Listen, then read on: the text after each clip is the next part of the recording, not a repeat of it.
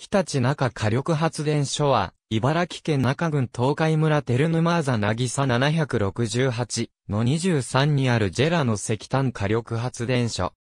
埋蔵量が少なく価格変動の大きい石油に代わり、埋蔵量が多く安定した供給が可能な石炭を燃料にした石炭火力発電所として、2003年12月に1号機が、2013年12月18日に2号機が運転を開始した。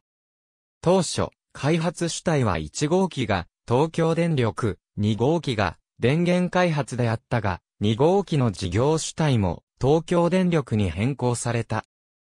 3号機以降の増設計画では、東京電力が実施した2012年度、電力卸供給入札募集に対し、中部電力と東京電力が共同で応札し、落札者となったことから、発電所の建設、運転、保守を主たる事業とする共同出資会社として、2013年12月に設立された株式会社日立中ジェネレーションが、当発電所構内に、日立中共同火力発電所1号機として計画し、2017年に着工した。1号機と2号機は、2016年4月以来、東京電力ホールディングス市会社の東京電力フュエルパワーが所有、運用してきたが、2019年4月、ジェラに移管された。2021年1月8日、株式会社日立中ジェネレーションの日立中、共同火力発電所1号機が営業運転を開始した。2021年時点では、同社は、ジェラの孫会社である。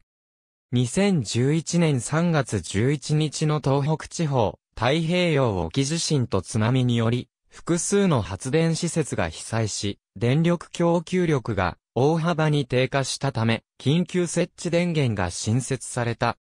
電力需給が逼迫した際に稼働していたが、被災火力発電所の復旧等により、2012年3月31日に、すべて廃止された。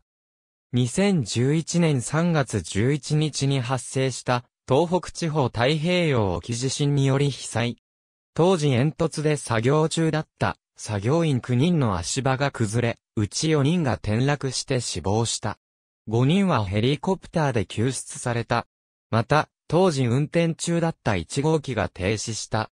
同年5月15日に1号機は運転を再開したが、当初は石炭をボイラーに供給する設備が復旧しておらず出力は4割ほどであった。ありがとうございます。